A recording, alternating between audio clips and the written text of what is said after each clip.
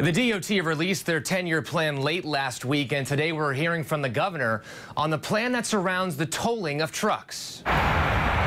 The Rhode Island DOT says their nearly $5 billion plan will take more than 10 years to complete. Until now, the plans have only been three or four years at a time, and the, I think the right way to think about infrastructure is over a 10-year period. To pay for it, RIDOT says the state needs to adopt their RhodeWorks plan, the idea to add tolling for trucks driving in the state. RhodeWorks still has to be approved by the legislature. It's something that we can move forward with at this point. I think that our infrastructure is something that we absolutely have to address.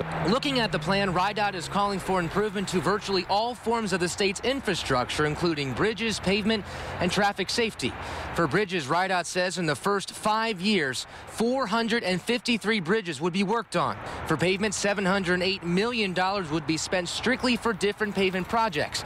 And 212 million would go to traffic safety. Improvements include upgrades to street lights, traffic lights, and traffic signals. It's much more expensive to rebuild a bridge that's falling down than it is to maintain one that's in good condition. So there's a sense of urgency here, and that's why I'm working so hard on it. And we have to get this passed. And the DOT says if they don't get the proper funding that they need, these projects will take seven years longer to complete. I'm Perry Russom, Eyewitness News.